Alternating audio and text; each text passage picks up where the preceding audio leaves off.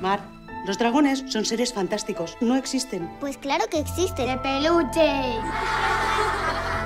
Creo que hay algo que puede ayudar a Marcy. Ven con los Lunis a descubrir Después de tanto tiempo podemos entrar en el libro para conseguir el colmillo. Y quien lo encuentre podrá acabar con la imaginación. Tenemos que detenerlo. ¿Sí?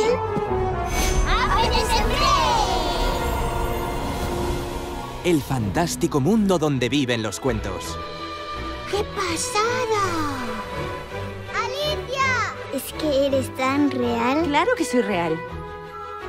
Bienvenido a Carros Pinocho. ¡Camelot a la vista!